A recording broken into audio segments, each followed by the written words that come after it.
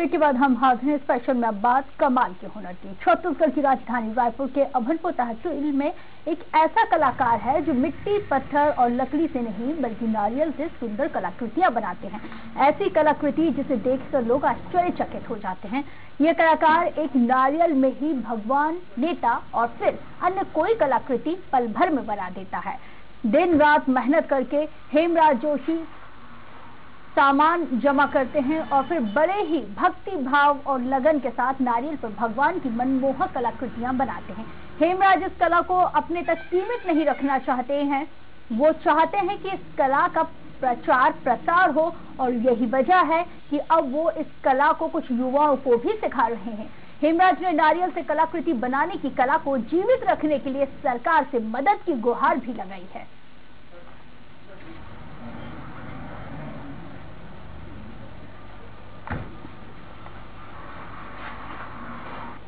काबा मस्जिद मजार सभी धर्मों का बनता है। स्पेशल नारियल नहीं रहता सर साधारण नारियल है जैसे ये नारियल है।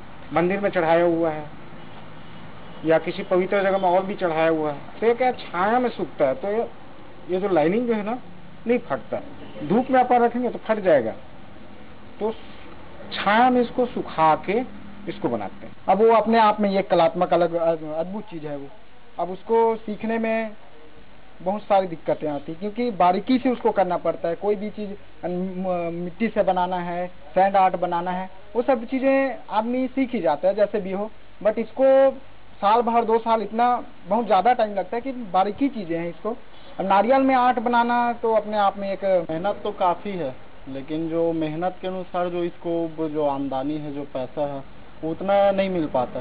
वैसे तो जो जो भी चीज़ बनाते हैं, जैसे कोई जैसे कोई इंसान का हो, जैसे बनाना है फ़ोटो तो इस प्रकार की उसका ड्राइंग पूरा मतलब एक बार देखेंगे, पूरा सेम वैसी बना लेते हैं। कृति ऐसा बनाते हैं, जो आप अगर खड़े हैं ना, आप अभी मैं आपको देख रहा हूँ, है नहीं? अगर मैं देखते देखते आपको बोल दूँगा कि भाई, इनकी तस्वीर बनाना है तो मेरा छोटा भाई बना देता। है तो हेमराज जोशी हैं, ये कलाकार जिन्होंने ये कारनामा कर दिखाया है।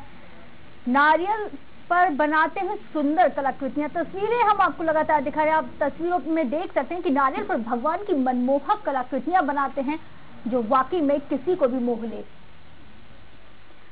और ज़्यादा जानकारी के साथ थोड़ा संवाददाता दीपक से बात करेंगे। दीपक वाकई में अनोखी और कमाल की कला।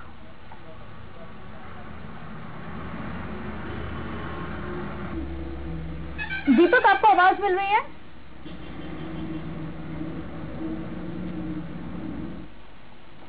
तो हेमराज जोशी इस कला को अपने तक सीमित नहीं रखना चाहते। वो चाहते हैं कि इस कला का प्रचार प्रसार हो और यही वजह है कि वो अब इस कला को कुछ युवाओं को भी सिखा रहे हैं। और इस वक्त हमारे साथ दीपक साहू, सहयोगी कलाकार हैं। वो फ़ोन लाइन पर जुड़ गए हैं। दीपक जी, एक अनोखी, बेमिसाल कला आ, कैसे आ, आप लोगों ने इस पूरे आर्ट को इजाद किया?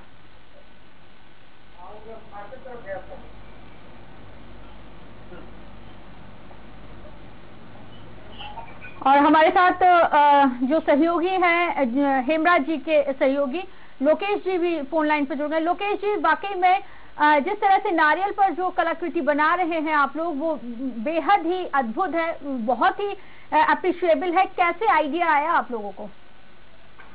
ये क्या है अपने नारियल को अपन देखे ना तो ऐसा लगा कि नारियल से कुछ बना सकते हैं। जी।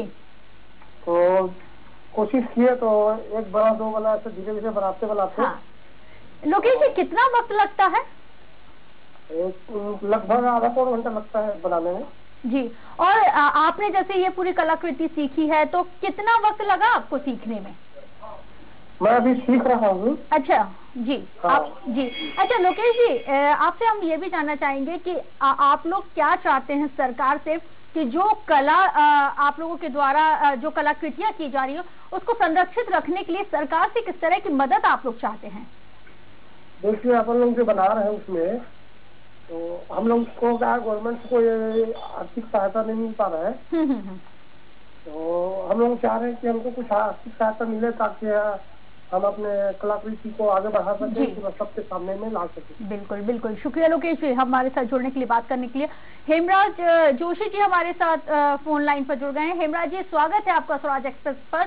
और सबसे पहले ढेर सारी बधाई इतनी अद्भुत अनोखी कला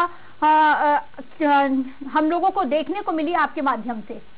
Thank you ma'am Hemraj ji कैसे आपने इसकी शुरुआत की और कितना वक्त लगता है आपसे जानना चाहेंगे? ये ऐसा हुआ है कि खेल में ही चालू हुआ है मैम जी। मतलब एक शौक था बच्चे से। हम्म हम्म हम्म। मेरा चित्रकारी का भी काम है मतलब कला के क्षेत्र में मैं घुसा हुआ हूँ समझ लीजिए बचपन से। जी। तो- उसी। मैं कुछ अलग करना चाहता था तो बिल्कुल। ये मेरे को नारियल मिला कि चलो इसी में किया जाए। बिल्कुल अलग करने की चाह में आपने इतना कुछ अलग कर दिया कि जिस चीज़ को लोग वेस्टेज मटेरियल समझते हैं जिसको फेंक देते हैं आपने उसी चीज़ पे अपनी कला की कलाकृति दिखाई है। हेमराज जी अ, अभी तक आपको शासन प्रशासन की तरफ़ से किसी भी तरह की कोई मदद मिली? नहीं अभी तक ना मदद मांगा हूँ मैडम जी ना हाँ। ही मदद मिली है। मगर मैं सिर्फ़ यही चाहता हूँ कि हम्म, चीज़ को उभारूं और शासन का स्टॉल मिले मेरे को जी, बिल्कुल हेमराज जी, हम लोग भी यही चाहेंगे कि आपकी इस अनोखी कला को शासन की तरफ़ से मदद मिले और इसको संरक्षित करने में जो मील का पत्थर साबित हो। शुक्रिया हेमराज जी हमारे साथ जुड़ने के लिए, बातचीत करने के लिए। तो चलिए अब बात करते हैं अनोखी शादी की। नए साल में उत्तर प्रदेश के बांदा